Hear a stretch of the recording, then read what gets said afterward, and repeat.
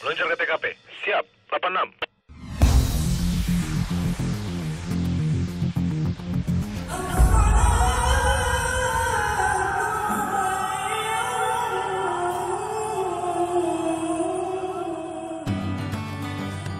Hari ini kita laksanakan salat subuh berjamaah dan zikir akbar. Kenapa ini kita lakukan? Selain dalam rangka revolusi mental anggota Polri, juga kita mengajak masyarakat bersama-sama untuk meningkatkan iman dan takwa kita kepada Allah Subhanahu wa taala terutama internal anggota Polri termasuk juga kita mengajak masyarakat.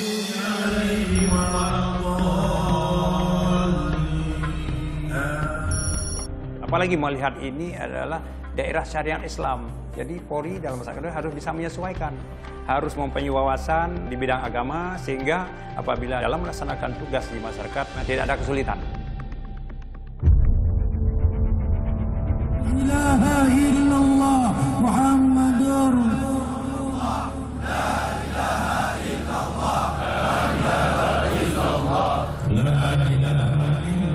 Jadi zikirnya ini kita untuk menenangkan hati kita. Barangkali kita banyak selama ini banyak tindakan-tindakan kita yang di luar aturan agama. Ya kita berintrospeksi kembali apa yang sudah kita lakukan selama ini. Barangkali ada yang tidak benar, kita minta ampun kepada Allah SWT. Sehingga dalam pelaksanaan tugas nanti kita lebih fokus lagi. Semuanya adalah berdasarkan hati nurani.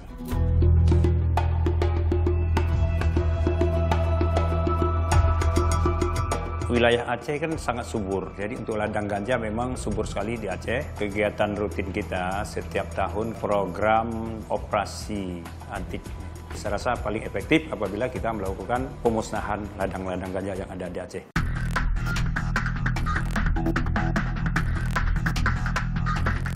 Kita hujan perjalanan nih sampai di daerah ujung Bate. Oke, sip. Lanjut ya, Adinda.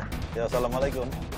Memang medannya cukup berat dan jaraknya cukup jauh. Pertama memang kita harus jalan selama dua jam dengan menggunakan kendaraan roda empat. Kendaraan pun masuk ke hutan. Sik. Mesti nanjak di jalan ini. Nah, kan. Oh, jembatan ya satu-satu. Ini kan jembatan lama ini.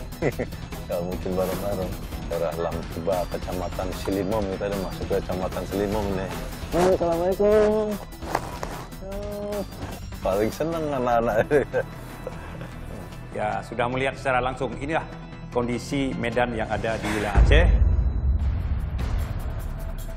Kenapa Pak Arun? Bisa? Etik? Kayaknya nggak bisa ini. Jadi mau tinggal aja? Tapi kurang ini, kurang pinggir dia. Lagi.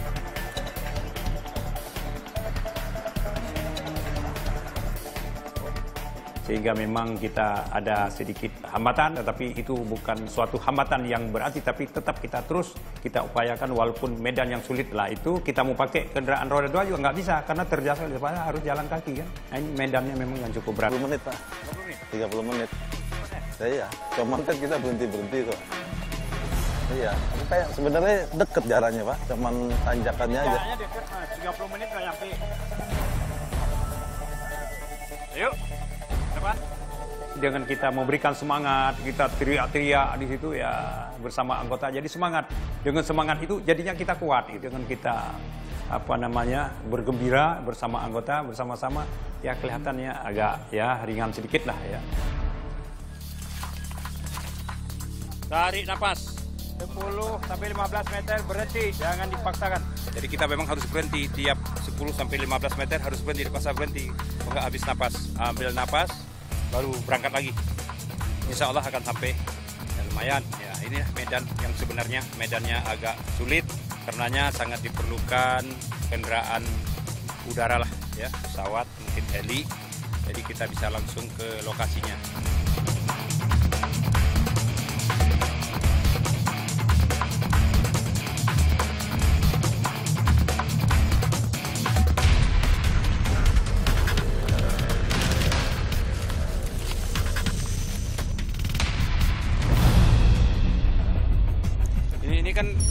Lokasi yang lama ini. Yang lama, jadi akarnya tumbuh lagi, yang sudah dipotong. Dulu saya sudah pernah ke sini, dan dulu lokasi ini pembibitan. Bibitnya sudah kita musnahkan, Ternyata setelah kita kembali, nah ini sudah ditanam lagi. Karena ta- tanahnya sangat subur, bibit ditabur saya sudah tumbuh. Ini kurang lebih 60 km ya dari kota Aceh. Dan ini biasanya katanya di Tumpang Sari dengan padi. Biasanya setelah lima kali itu biasanya ladang berpindah. Kita sudah cukup di lokasi ini. Di bawah ada satu lokasi lagi. Sambil kita kembali, nanti kita mampir di lokasi yang di bawah dekat. Agar tiap anggota membawa beberapa batang sebagai contoh nanti untuk di Polda. setelah itu memusnahkan, mencabut, dan dibakar. Ayo. Bismillahirrahmanirrahim.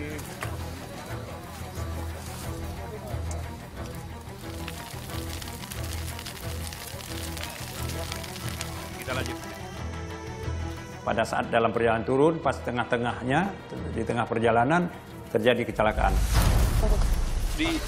ratakan dirapat dulu, kita ikat dulu. Diikat dulu, diikat. Bagian sini atau sini?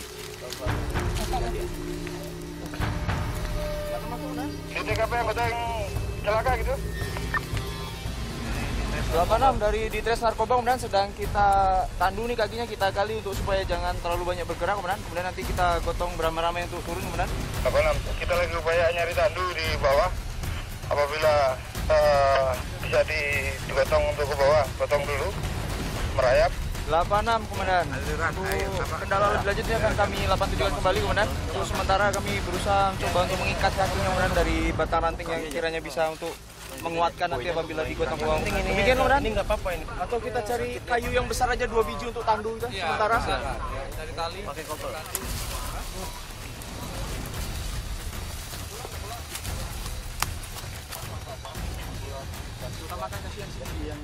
Cukup kompak anggota kita. Ini kalau salah satu anggota kita yang jalan langsung dibantu bersama-sama. Nanti baru kita serahkan kepada tim kesehatan untuk eh, tindak lanjut. Satu dua tiga yuk Ayo. ganja tuh ganja bawa ganja tolong kanan kiri ditambah lagi Jalan terus, jalan terus. Ya. Hati-hati, hati-hati, hati-hati. Jangan kena kaki, jangan kena kaki. Nah, jangan kena kaki pelan-pelan. Itu sementara yang dibuatkan oleh anggota Ramadan atau anggota atas yang Kita melihat anggota kita kan dalam melakukan suatu kegiatan cukup serius.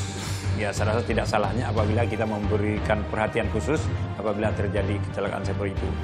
Nah, memang agak sulit kita mengalihkan perhatian masyarakat untuk mengalihkan uh, suatu tanaman pengalihan misalnya dari menanam gajah menanam palawija yang lainnya memang agak sulit karena masyarakat kita ya mungkin ingin instan ya memperkaya dirinya secara instan dengan menanam gajah walaupun mereka tahu bahwa itu melanggar tetapi tetap saja dilakukan ini agak sulit namun kita berupaya terus dengan cara menghimbau masyarakat dengan mengajak uh, beberapa elemen masyarakat termasuk instansi pemerintah daerah ya pemerintah provinsi untuk memberikan solusi bagaimana masyarakat kita jangan lagi menanam gajah tapi justru menanam uh, tanaman yang lainnya yang lebih bermanfaat yang halal gitu ya.